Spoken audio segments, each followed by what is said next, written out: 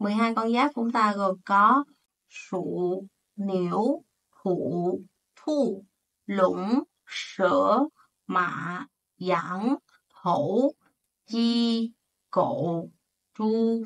Lần nữa, sụ, niễu, hụ, thu, lũng, sở, mạ, giảng, hổ, chi, cậu, Chu.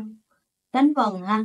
U, su, sụ, yêu yêu, niễu, u, hu, hụ, u, thu, ông lũng, ơ, sở, a, mạ, an, giảng âu, hổ, y, chi, âu, cậu, u, chu.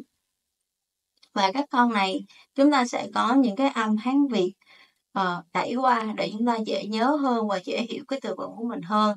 Chúng ta có con sụ, sụ của mình đây là con thử, ngũ thử, hắc thử và bạch thử. Niễu, niễu của mình đây là ngưu, ngưu trong ngưu ma, ngưu ma vương. Và niễu, niễu ở đây thì trong khóa 1 chúng ta sẽ làm quen ba con. Trong con niễu chúng ta sẽ có ba con, đó là con sợi niễu, khoảng niễu và con nài niễu. Niễu của mình đó là họ à, chữ ngu trong họ trong bò và sùi niễu. sùi niễu của mình đây là con thủy ngưu. Đó là con trâu. khoảng niễu của mình đó là con hoàng ngưu. Đó là con bò vàng. Thủy ngưu, con trâu nước.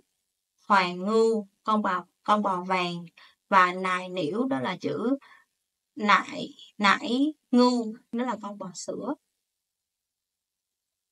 thì chúng ta trong khóa 1 mình sẽ xuất hiện có ba bạn này. À, con sùi niễu con hoảng niễu và con này niễu thì chúng ta trong 12 con giáp của mình chúng ta sẽ dùng con niễu đó là con trâu à, và bữa sau chúng ta sẽ có bài thức uống.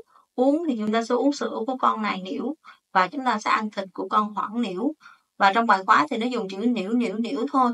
Cho nên tùy theo tùy theo cái nội dung của mình.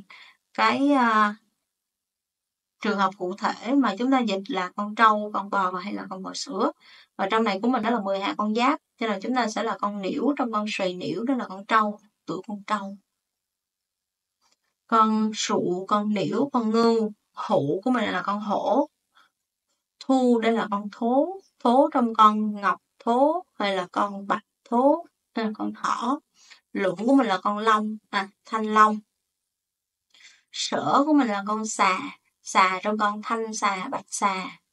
Mã đây là con à, mã là con mã con ngựa mã đó thành công. Dẫn dẫn của chúng ta cũng giống như là trường hợp của con bò nó sẽ có một vài chữ. Ở đây chúng ta làm quen với hai chữ của con dẫn đó là con san dẫn con san dẫn san dẫn của mình đây là con sơn dương. Và con miễn dẫn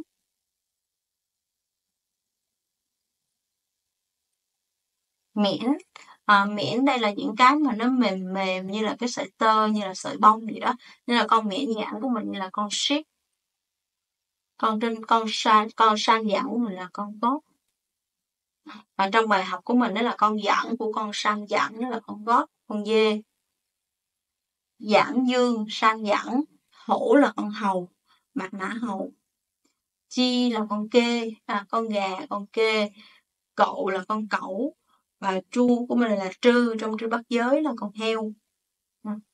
Sụ thử niễu ngưu hụ hổ, thu thố lũng long, sở xà, mạ mạ, mã, giảng dương, hổ hầu, chi kê, cậu, cẩu và tru, trư.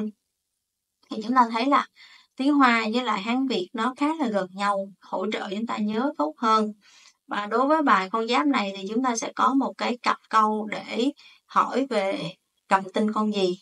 Chúng ta sẽ có cặp câu đó là Ní sù sở mơ, ní sù sở mơ, wò sủ mạ, wò sủ mạ, ní sù sở mơ, bạn cầm tinh con gì? Ní sù sở mơ, wò sủ mạ, tôi tuổi ngựa. Và nghe con nghe chữ mạ này chúng ta có thể thế các con ở trên này. Ní sù sở mơ, 我属鸡， Ní属什么？我属狗。Ní属什么？我属羊。Chỗ nị quợ chúng ta có thể thế tên của các bạn khác vô. Lĩnh na sù什么? Lĩnh na sù vụ. Mà tao quẩy sù什么? Mà tao quẩy sù nhiễu. Ok, đó là cái phần sụ của chúng ta về bài cập tinh và bài chúng ta tạm kết thúc ở đây.